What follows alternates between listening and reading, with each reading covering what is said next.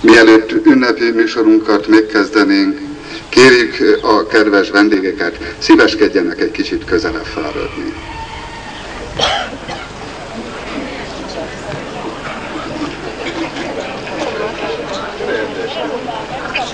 Lődött minden vendéget abból az alkalomból, hogy tanúi lehetünk egy település törekvéseinek, melynek eredménye itt van minnyájunk szem előtt. Engedjék meg, hogy nagy tisztelettel köszöntsem a mai kedves vendégeinket, dr. Hóbar Erzsébet, helyettes államtitkárasszonyt, Zala megye közigazgatási hivatalának vezetőjét, Varga László urat, az Alamegyei Önkormányzat közgyűlésének elnökét, és dr. Cseke József plébános urat. Kérem, hogy közösen énekeljük el a himnuszt.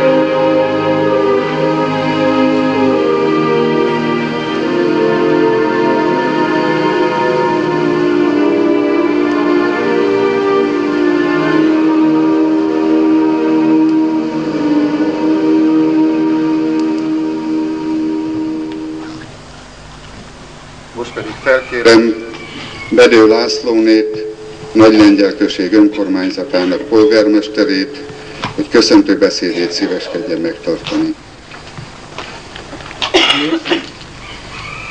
Nagylágyál önkormányzat képviselőtársulata nevében szeretettel köszöntöm a tisztelt jelenlévőket. Hölgyeim és uraim, tisztelt megjelentek! Ahol most önök közül sokan állnak, ott volt egy iskola, majd később egy művelődési ház. Annak az intézménynek volt egy vezetője, Egyárt László, iskolaigazgató, majd később, mint művelődési házvezető. Ő mondta sokszor sóhajtva, hogy milyen jó lenne egy olyan közösségi épületet felépíteni, melyben a helyi emberek közelebb kerülnének egymáshoz, az egyre álanyagosodó világban, és ismét életre lehetne kelteni a színjátszókört is. Mondta, és szerette volna, de tudta, hogy az anyagi lehetőségek korlátja miatt az nem valósítható meg. Tehát az idő, és lassan-lassan körvonalazott annak a lehetőséget, hogy megteremtsük az anyagiakat a Szilácsi sóhajához, sokunk kívánságához. Így jutottunk el az 1999-es évhez, amikor is a képviselőtestület elhatározta a faluház felépítését.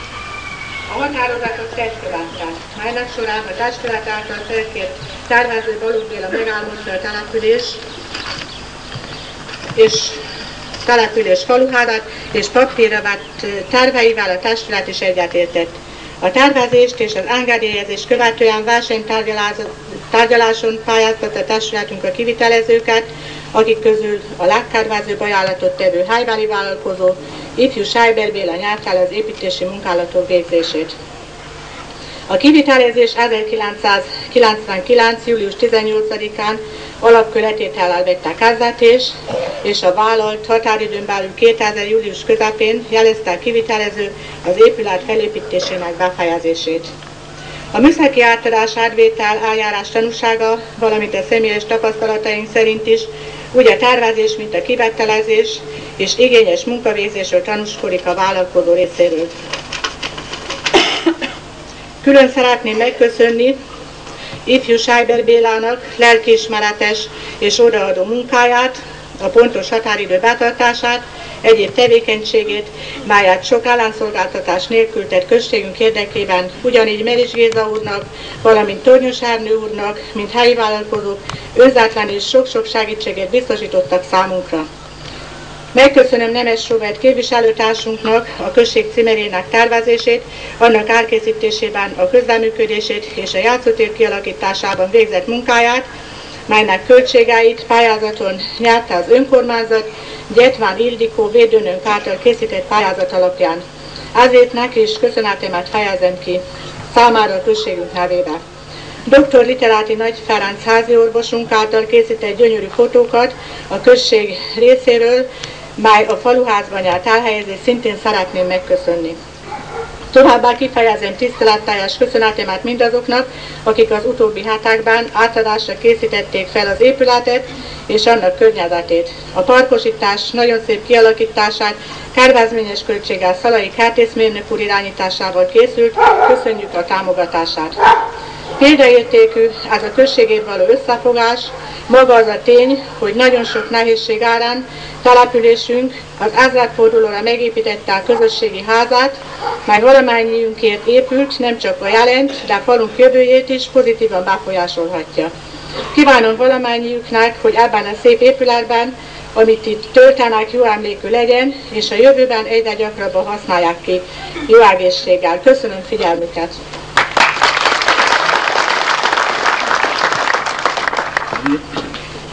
Petőfi Sándor, magyar vagyok. Magyar vagyok. Legszebb ország hazám az öt világrész nagy területén. Egy kis világ maga. Nincs annyi szám, ahány a szépség gazdag kebelén. Van rajta bérc, amely tekintetet véd, a Kaszpi-tenger habjain is túl, és rónasága, mintha a föld végét keresné, olyan messze, messze nyúl. Magyar vagyok. Természetem komoly, mint hegedűink első hangjai. Alkamra felfelröppen a mosoly, de nevetésem ritkán hallani. Ha az öröm legjobban festi képem, magas kedvemben sírva fakadok. De arcom vég a bánat idejében, mert nem akarom, hogy sajnáljatok. Magyar vagyok. Büszkén tekintek át a múltnak tengerén, ahol szemem egekben nyúló kősziklákat lát, nagy tetteidet, bajnok nemzetem. Európa színpadán mi is játszottunk, s miénk nem volt a legkisebb szerep. Úgy rettegi a föld kirántott kardunk, mint a villámot éjjel a gyerek. Magyar vagyok. Mi mostan a magyar? Holt dicsőség halvány kísértete, föl-föl tűnik, s lebúvik nagy hamar, ha vert az óra, odva mélyébe. Hogy hallgatunk? A második szomszédig alig, hogy küldjük életünk neszét. Saját testvéreink, kik reán készítik, a gyász, s gyalázat fekete.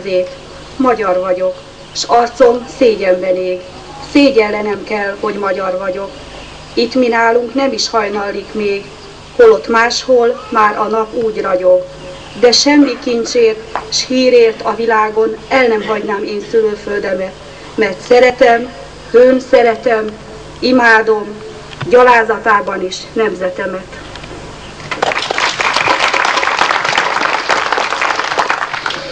Most pedig felkérem Varga László elnök urat avató beszédének megtartására.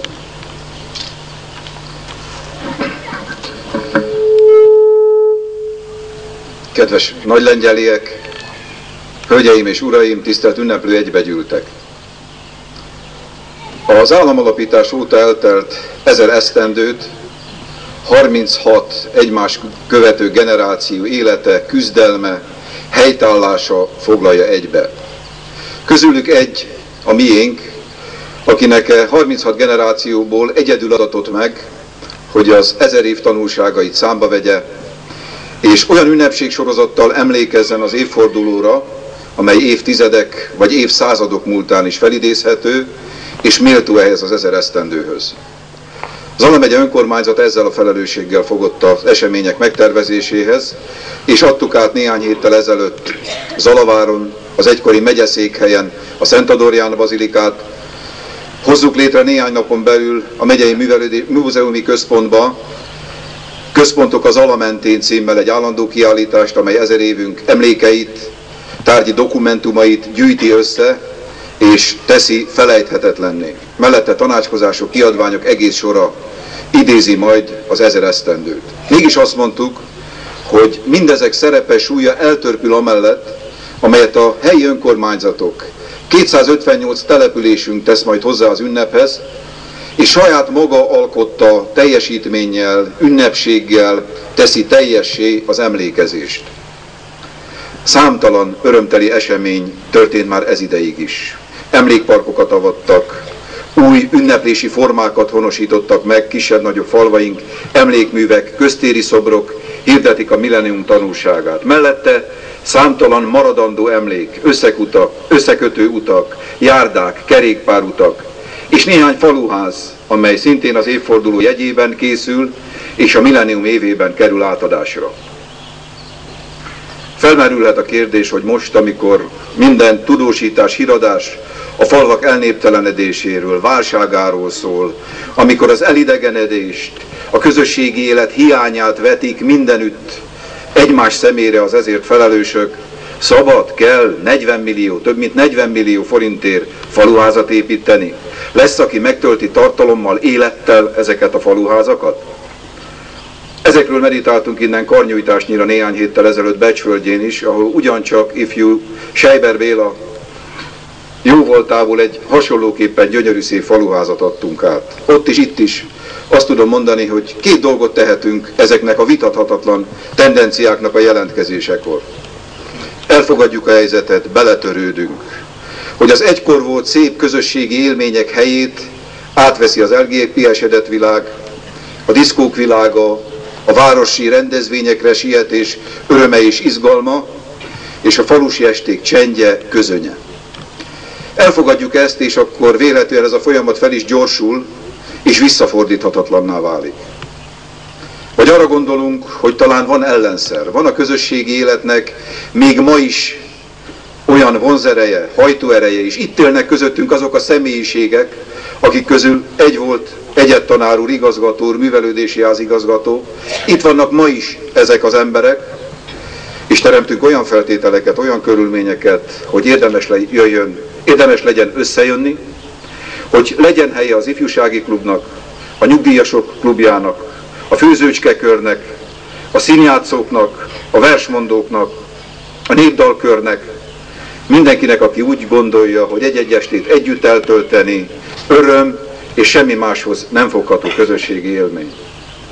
Én azt gondolom, hogy milleniumra ennél szebben emlékezni, mint te hittel tanúságot tenni amellett, hogy itt igenis Nagylengyelbe bíznak az önkormányzat képviselői, azok, akik itt most összegyűltek és számukra ünnep ez a pillanat, hogy nem törvényszerű, hogy az estéinknek ne legyen tartalma, összejöveteleinknek ne legyen öröme, izgalma, szépsége, értelme.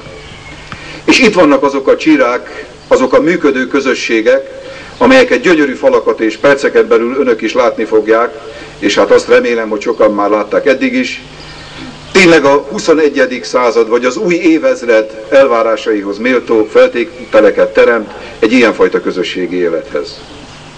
És a tervek nem értek véget. Kérem, hogy majd vessenek egy pillantást az épületen túlra is, ahol Balog Mihály fafaragó szobrászművész jóvoltából már gyönyörű szép hinták, padok, jelzik azt, hogy milyen igényességgel és távolra tekintéssel él tovább a gondolat.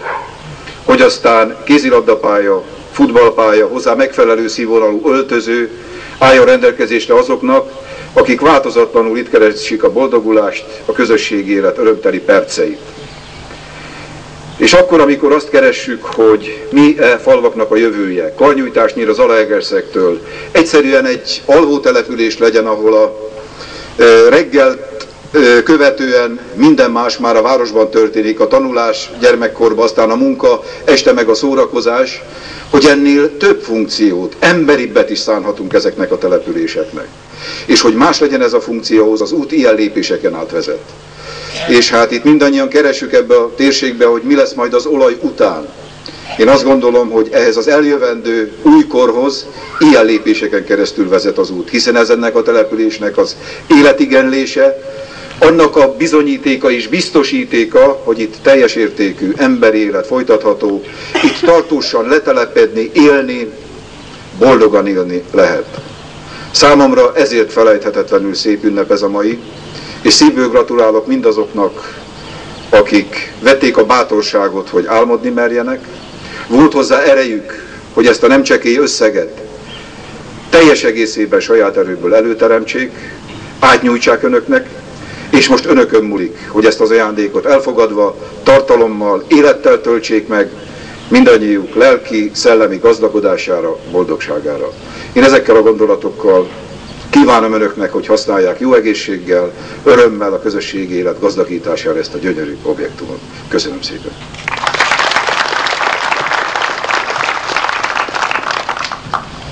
Minnyájuk nevében megköszönöm elnök úr meleg szavait, jó tanácsait, és e gondolatok jegyébe kérem fel dr. Cseke József plébános urat, hogy áldja meg ezt az épületet, hogy az elhangzottaknak megfelelően a későbbiek során olyan tartalommal töltődjön meg, mint aminek szánjuk.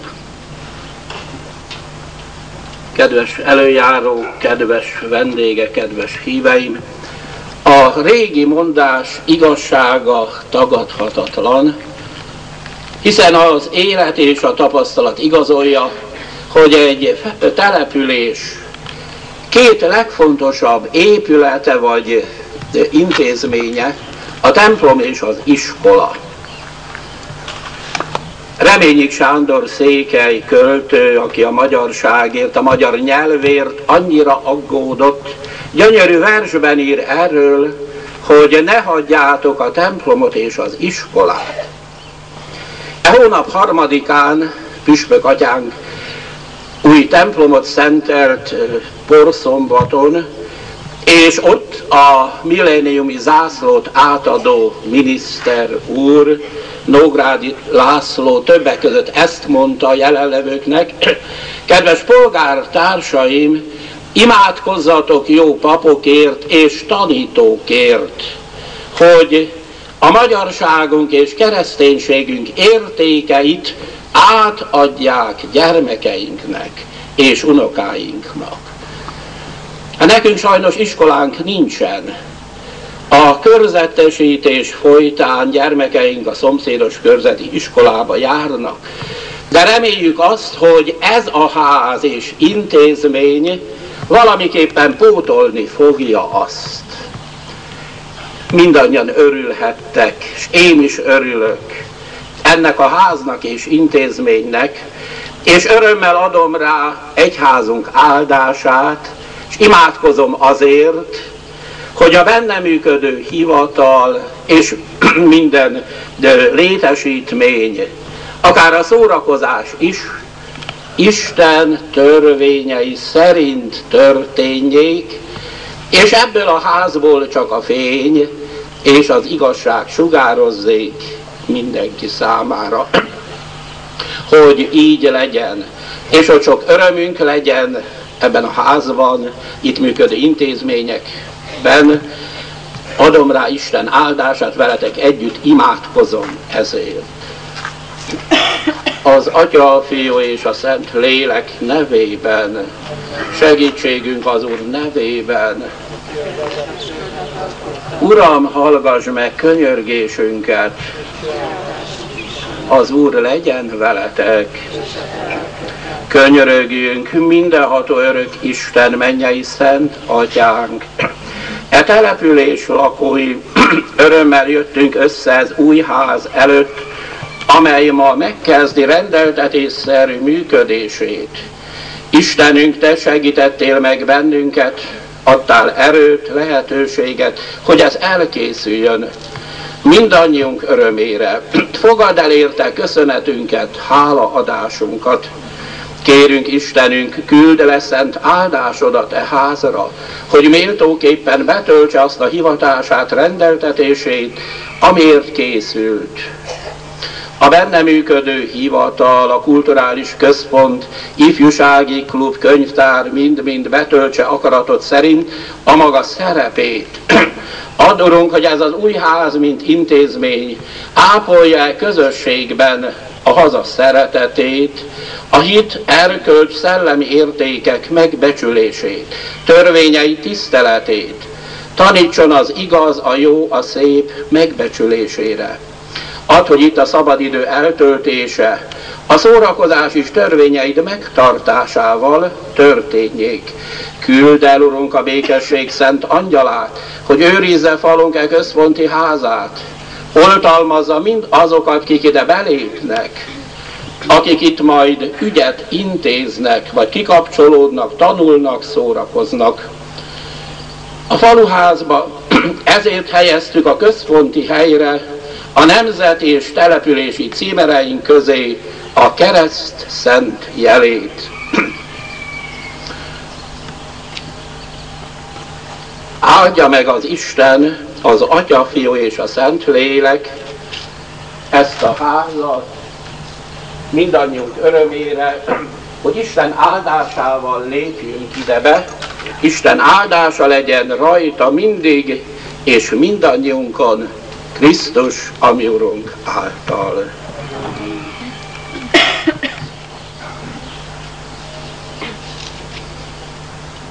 Megköszönve plébános úr épületet megáldó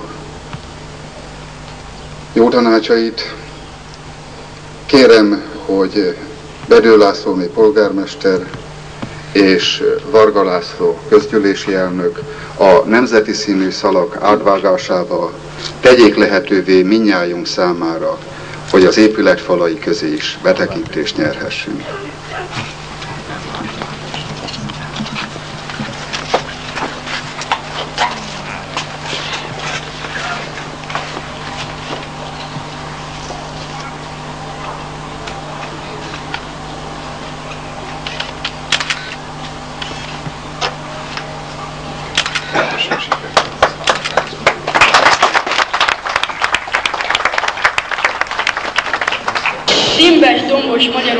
Az én hazám, itt szült engem az én kedves édesanyám. Ezen a kis földön tanultam meg járni, itt láttam az égen a fecskéket szállni. Itt sütött először rám a napsugára, itt vigyázza álmom a holnap világa. Ismerem kisfalunk templomának tornyát, ismerem a mező ringatózó búzát. Itt él a családom, és minden szerettem, azt, hogy magyar vagyok, sohasem felettem. Bárhová is jussak ezen a világon, oly kedves egyik sincs, mint az én országom.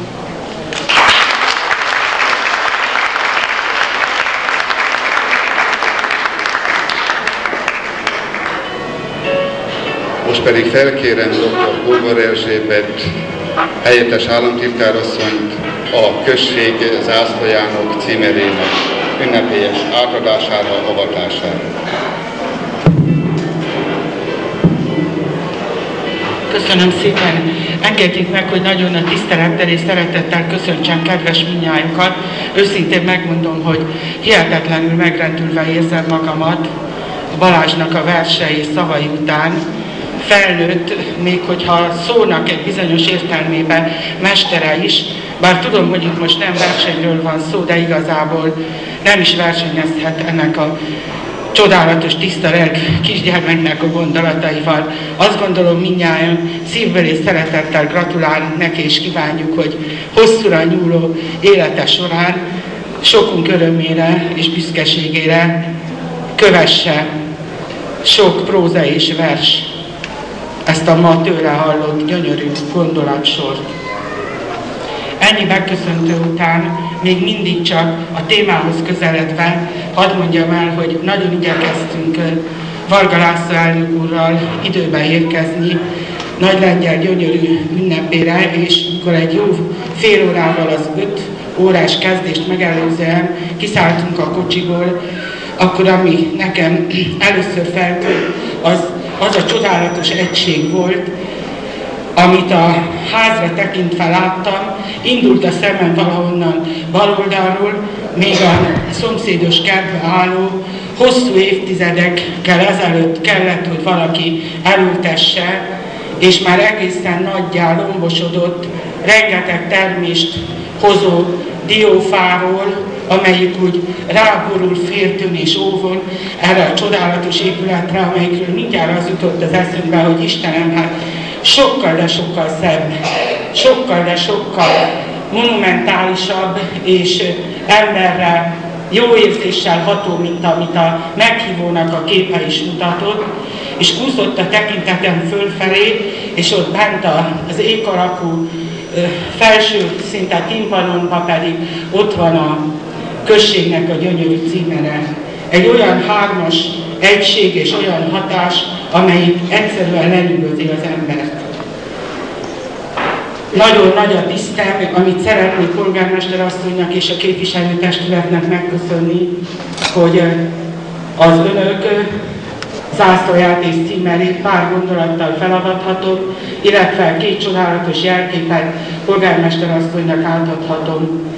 Sokan vannak itt, idősek és fiatalok is, akik már nagyon jól tudják, hogy a zászló az jelkép. Nagyon hosszú idő óta az együvé tartozás jelképe. És akkor, amikor napjainkban, és hálás az ember szíve, hogy Zara megyében is különlegesen nagyon sokszor ilyen jelképet avatunk, akkor egy olyan jelképet avatunk, amely napjainkban már nem a csatával hívó, nem a forradalmi mozgalmak élén álló zászlót jelképezi, hanem egy település együvé tartozásának, valamiféle megnyugvásának, igaz megérkezésének a jelképét szimbolizálja. Mutatja azt, hogy Nagymengyelnek múltja van, és van jelene, amelyben sokan isznek, akik itt élnek, akik az itt élő embereknek a felelős bizalmából tisztséget viselve aggódnak, álmodnak és tesznek ezért a településért, és egészen biztos, hogy van jövője is, mely a településnek a múltjából merítkezve építi ennek a csodálatos város elővárosának mondható gyönyörű kis falunknak a jövőjét, jövője egész rajzát, álmait, terveit és majd a valóságát is, amelynek egyik gyönyörű szép megvalósult példányában, ebben a csodálatos faluházban lehetünk most itt együtt. Azt mondtam, hogy a zászló és a címer jelkép. Hogy miről szól Nagy Lengyel zászlaja és címere, erről majd a plébános úr fog pár gondolatot mondani. Az ő kenyerét nem elvéve, én csak arra szeretném őket emlékeztetni, hogy a középkori reneszánsz Firenzében a városnak az első emberét szó szerinti magyarra fordításban is zászlóvívőnek hívták. A mai naptól az önök polgármester asszonya is zászlóvívő. Elő kell, hogy járjon és vigye képletesen, utat mutatva mindig ezt a gyönyörű jelképet, és azt gondolom, hogy nagyon göröngyös és nagyon magányos lenne az útja, hogyha mint zászlóvívőnek egyedül kellene megtennie a ráváró feladatok sorában ezt a bizonyos utat. Szívem szerint bízom abban, hogy munkájában segíti a képviselőtestület, és Nagyrengyel valamennyi lakosa, apraja és nagyja, nem közömbösen szemlélve, nem csak mindig kritizálva, hanem jó ötlettel szolgálva, és a megvalósításban mindig egységet formálva jár azon az úton, amelyet a polgármester asszony és a képviselőtestület képletesen is mutat önöknek. Nagylengyel múltja gazdag és gyönyörű. Egyes történelmi visszatekintések szerint vérbúcsú vezér idején jöttek ide az első emberek. Írásos említése is az 1100-as évek derekán már megtalálható. Tudom, hogy volt a település múltját tekintve, pénzben is, intézményrendszerében is gazdagabb. Volt nagy lengyel, több településnek anyakönyvi területe, körjegyzősége, amire Árnó is utal az olaj révén egy gazdag településen. De ma, ha végigmegyünk ezeken a csodálatos utcákon, ezekkel a hihetetlenül mívesen megformált, bárki idejövőnek egy hű és jó eligazítást adó utcatáblákat, a gyönyörű virágos kerteket nézve, akkor azt mondom, hogy igenis, Nagy Lengyelnek gazdag volt a múltja, és gazdag kell, hogy legyen a jövője. Jó látni a gyerekeket és a fiatalokat. A felnőtteknek az lesz a feladata, és ez hozzájuk a kérésem, hogy valamennyi felnövekvő nemzedékhez tartozó tanítson meg a jelképek becsületére, tiszteletére, hogy tudják a gyerekek azt, hogy az ászló az nem egy oktalanul lubogó sejem, egy semmi szöveg, hanem egy jelkép, amelyik igaz módon mutatja mindnyájunknak, hogy Nagylengyel település apraja nagyja összetart, hisz ennek a falunak a jövőjében, hisz a további kibontakozásban és az értékteremtésben. Tisztelettel és szeretettel kívánom, hogy mindenkinek legyen álma, álmából legyen terve, tervéből legyen valóság, úgy az önkormányzatnak, mint az itt élőknek, és segítség egymást, akkor, amikor valamit meg kell valósítani. A polgármester asszony pünköst hétfőn Gellényházán tartott ünnepség keretében vette át a milleniumi zászlót, amely most is ennek az ünnepségnek halk, de jelenlévő résztvevője, úgyis, mint jelkép, a hazához tartozás, az ezer éves magyarsághoz tartozás jelképe. Nekem a milleniumi zászlóról mindig Szent István áramalapító királyunk jut az eszembe, és azok a gondolatok, amelyeket gyermekéhez, Szent Ignácekhez írt. Olyan csodálatos intelmeket hagyott hátra, amelyek a mai ember, a harmadik évezredben lépő ember életfilozófiájának, élettartalmának is egy zsinór mértéke lehet. Semmi másról nem szólt, mint csak egymás iránti cselekedeteinkből megnyilvánuló szeretetről, a másik ember tiszteletéről, a törvények betartásáról. Azt gondolom, hogyha ilyen zsinórmérték szerint tudunk élni, és jelképesen most már a milleniumi zászlóhoz kapcsolódóan a falu zászlója alatt is együtt menetelni, gondolkodni, cselekedni, akkor azt gondolom, minnyáján jó úton járunk. Nagylengyeliek is, a megye is, és a haza is. Ehhez kívánok mindenkinek hitem szerint reményt, szeretetet, boldog életet, és kedves polgármester azt, hogy engedd meg, hogy ezeknek a gondolatoknak a jegyében nagyon nagy tisztelettel és szeretettel átadjam neked először nagy lengyel, csodálatosan szép zászlaját, majd pedig a címek. Köszönöm szépen, hogy meghallgattak.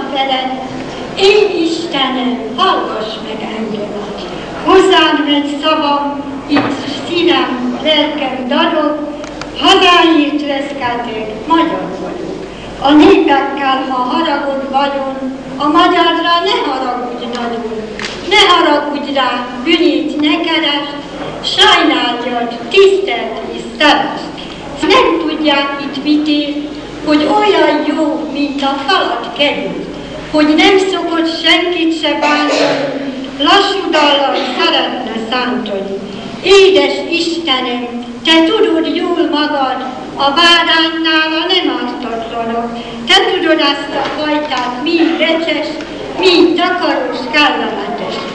Te látod életét minden tanyán, te tudod, hogy beszél édesanyám. Te tudod a tiszta sárga vizét, a kenyerünk barna izét. Te tudod, hogy itt milyen szívesen hempereg a csikó a füvesen. Te tudod a nyár kolompját, ha megyen, édes szőlőnket tudod a hegyen. S keserű könnyeink, tudod, Uram, hogy mennyit szenvedtünk is csak ugyan, hogy végeztendőt várunk mindenért, hisszük, lesz még szőlő, lágy kenyér. Ó, kerjetek a magyar védeni, ti Istennek fényes cselédei. Uradnak mondd el aranyarcunak, mondd el szerelmes déli. Dicsérjed a Balatont tiszta hold, hisz szebb tükröd a földön sose volt. Csillagok, értünk könyörögjetek, kis házak ablakában reszketek, este mennyi mély ragyog, könyörögjetek, értünk csillagok.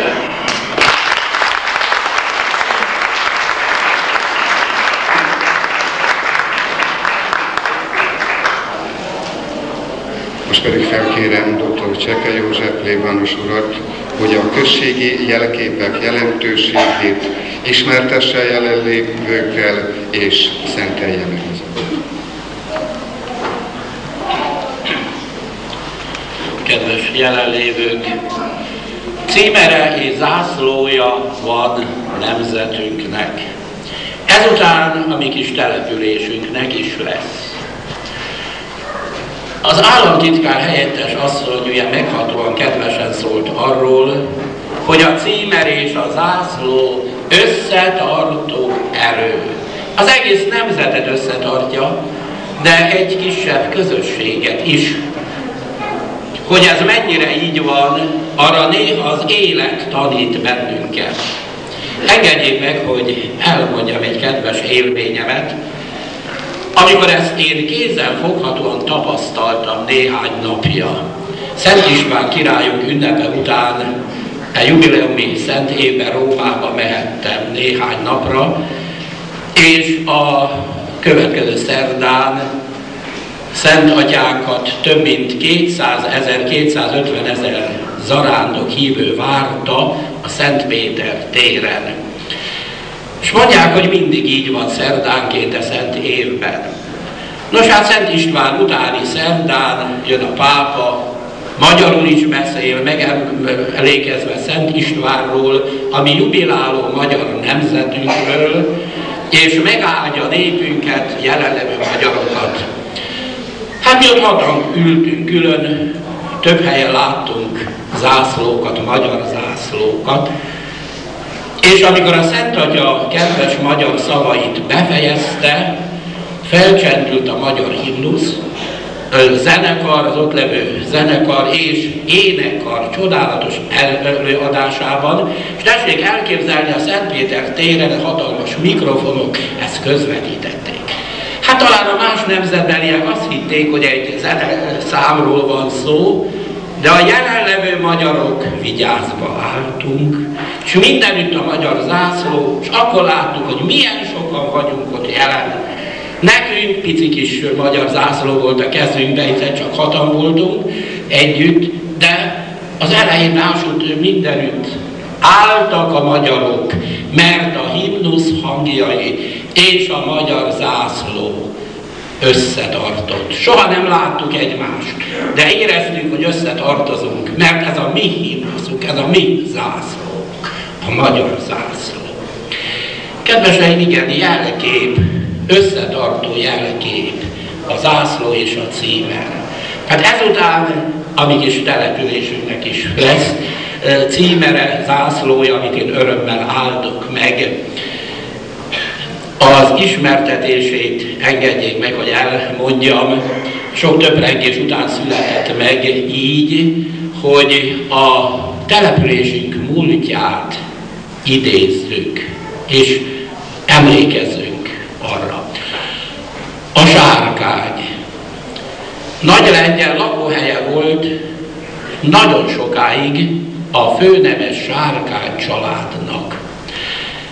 A mostani templomunkat, amelyet 1787-ben szenteltek föl, valójában Sárkány Gábor főnemesnek köszönhetjük, és testvérének Sárkány Jánosnak. Ez a főnemes család, amely adott főispánt Zala megyének is, nyugvóhelyük a régi temető kriptájában volt, amely akkor már obladozott, hogy mi lett velük, erről nem ír a mi plébániák története. De mindenképpen a falunk nagyon sokat köszönhet a Sárgány családnak, mostani templomot, plébániát, sőt a plébánia javadalmazását is. Hát ezt akarja jelképezni a sárkány a címerünkben és a címerrel ékesített zászlón. És a színek is, a kék és az arany az ő családi címerükből vétetett át. Nos, a központi helyen pedig egy kutya van, amelynek a szájában égő fákja van.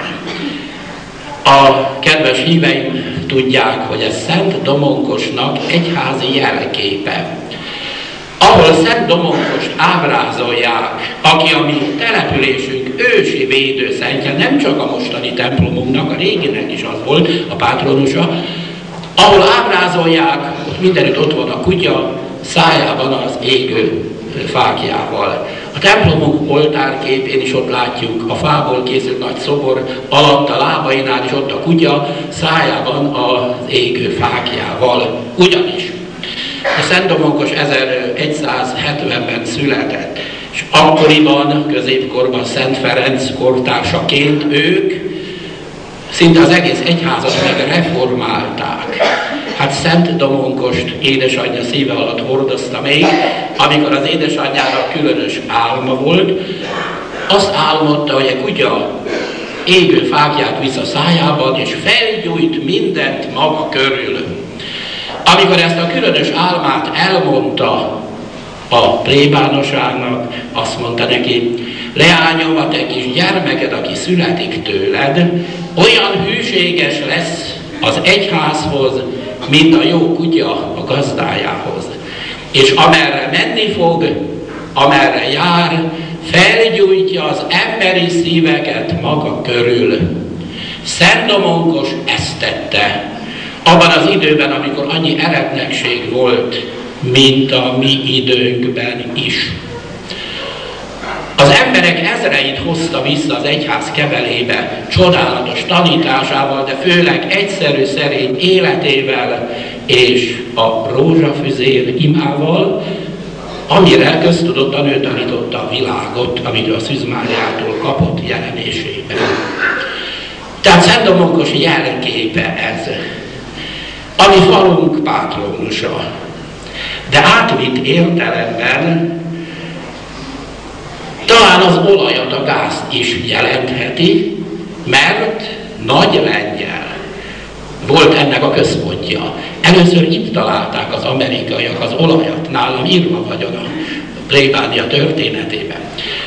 Az akkori plébános ugye örömmel nyugtázta, hogy hála Isten olajat talál, találtak a határunkban az amerikaiak. Remélem, hogy az én szegény falumat ez segíteni fogja, és az itt lakó híveimet. Hát úgy is történt. Hát átvitt értelemben talán jelentheti ezt is, igaz? Nos, a három halom pedig Tulajdonképpen csak arról szól, hogy a mi kis településünk a hegyek, halmok, dombok között van, de szintén átvitt értelemben a nemzeti címerünkre is utalhat, ugye? Négy vízparton, három hegyen, mindörökké magyar legyen a Máriás ének. Hát igen, talán ezt jelenti a címerünk. És az ászlónk. És még hadd említsem meg, hogy úgy tudom, hogy az önkormányzat egyet a templomban is ad. Hát mi azt nagyon megbecsüljük és nagyon megköszönjük. Ha betetszenek lépni a templomunkba, jobb oldalon hatalmas nemzeti zászló a Szent Koronár címerünkkel, most a bal oldalra kerül a falu zászló a falu címerével. És a templomunk ékessége lesz, amit meg fogunk köszönni nagy szeretettel. Hát e szavak után megáldom a címerőket és a zászlót. Az Atya, Fiú, Szent Lélek nevében. Amen. Segítségünk az Úr nevében. Uram, hallgass meg könyörgésünket. Az Úr legyen veletek. Könyörögjünk, áld meg Istenünk, településünk címerét, és a címerrel ékesített falu zászlókat, hogy akaratod szerint betöltsék azt a feladatot, amelyre készültek. Mint emlékeztető és biztató jelek, ösztönözzenek minket összefogásra, emlékeztessenek összetartozásunkra, tanítsanak helytállásra, segítsenek a hit és erkölcs megújulásában. Címerünk és faluzászlónk, mint megszentelt lelkép, emlékeztesse mindig nagy lengyel világi és egyházi előjáróit, a falu egész közösségét, a szűkebb közösség megbecsülésére, szeretetére, a falu és emberi közössége iránti kötelezettségünkre. Mindenek előtt arra, hogy csak közös összefogással, áldozatkész, önzetlen munkával törekedhetünk a közjavára előmozdítására.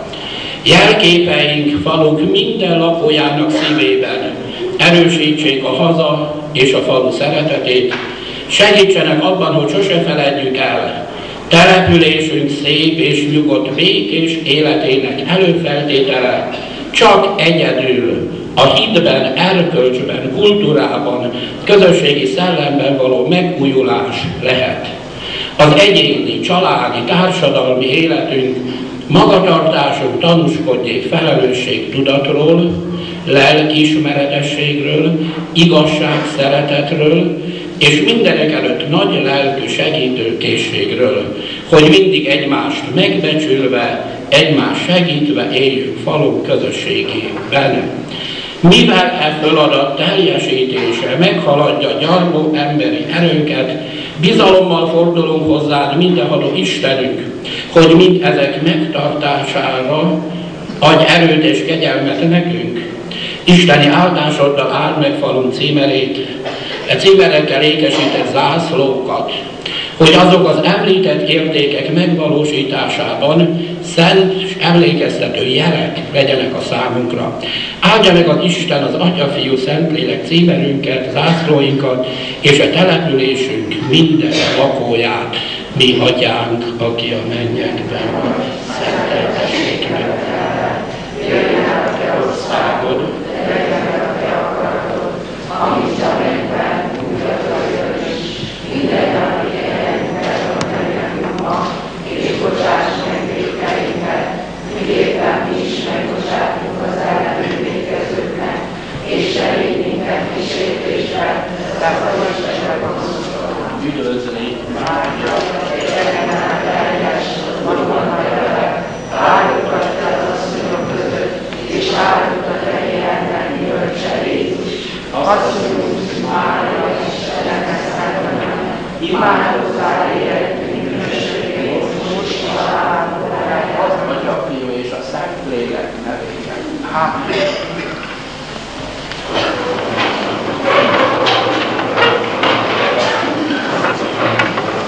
Minnyájuk nevében megköszönöm plébános úrnak a községi jelképek megáldását, és most kérem, hallgassuk meg bedőltően.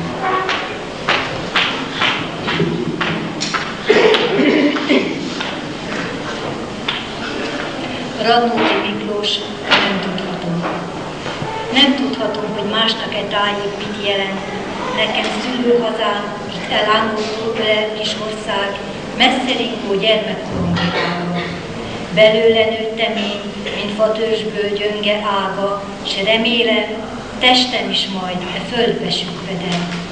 Itthon vagyok, s ha néha lábamhoz térdepel egy-egy bokor, nevét is, virágát is tudom, Tudom, hogy merre mennek, kik mennek az úton, és tudom, hogy mit jelenthet egy nyári alkonyon a házfalakról csorgó vöröslő fájdalom. Ki gépen száll fölébe, annak térképet táj, s nem tudja, hol lakott Vörös Martin háj. Annak mit rejtett térkép, gyárat, s vadlag tanyát, de nékem szöcskét, ökröt, tornyom, szerít tanyát, az gyárat lát a látcsőné szántó földeket, míg én a dolgozót is, ki dolgáért remeg, erdőt, füttyös, gyümölcsös, szőlőt és sírokat, a sírok közt anyókát, ki halkan sírogat, s mi föntről pusztítandó, vasút vagy gyárüzen, az bakterház, s a bakter előtte áll, s üzen. Piros zászló kezében körötte sok gyerek, s a gyár udvarában komondor emberek. És ott a bar, a régi szerelmek lábnyoma, a csókot íze számban, hol mész, hol áfonya. S az iskolába menvén, a járda peremén, hogy ne feleljek aznap, egy kőre léptem én. Ím itt e kő, de föntről e kő se látható, nincs műszer, melyel mindez jól megmutatható hisz bűnösök vagyunk mi, akár a többi nép, s tudjuk, miben védkeztünk, mikor, hol és miként. De élnek itt dolgozók, költők is bűntelen, és csettfokók, akikben megnő az értelem, világít bennük, ér, őrzik, sötét pincékbe bújva, míg jelt nem ír hazánkra újból a béke újja, s folytott szavunkra majdan friss szóval ők felelnek, nagy szárnyadat boríts ránk, virasztó égi felnek.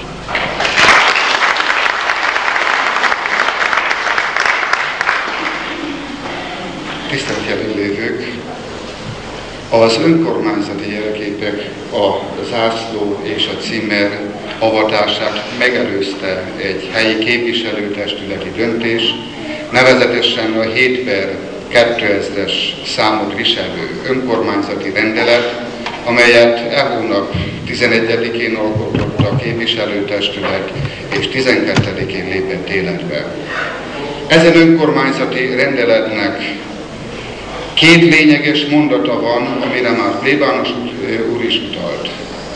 Ugyanis kimondja a rendelet, hogy a község zászlajából egy példányt az önkormányzat hivatali helyiségében, egy példányt pedig a település római katolikus templomába kell állandó jelleggel megőrizni. Ezért kérem én most Bedő Lászlóni polgármester asszony, hogy Halász Ede egyházközségi elnök részére szíveskedjen átadni az egyházközség zászlóját.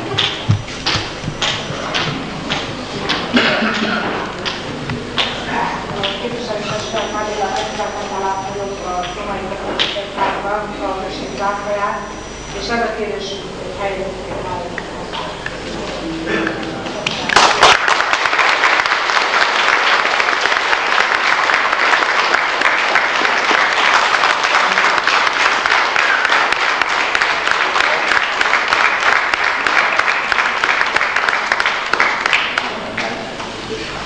Tisztelt ünneplők!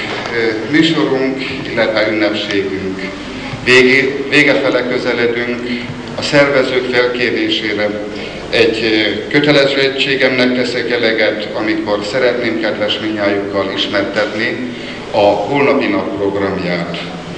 Holnap szintén 5 órakor kezdődik a faluházban a program. A műsorban fellépnek a táncos lábú kicsik és nagyok, a Petri Keresztúri dalkör, Laci Lajcsi paródiával, Padődő paródia, Zámbó paródia, valamint a község vendége lesz Galambos Ferenc a TV2 bűvésze, a zenét a bálban pedig utána Anti szolgáltatja, akit a helybelieknek nem kell bemutatni. Most pedig ünnepi műsorunk végén az a kérésem önökhöz, hogy szíveskedjünk a szózatot említeni.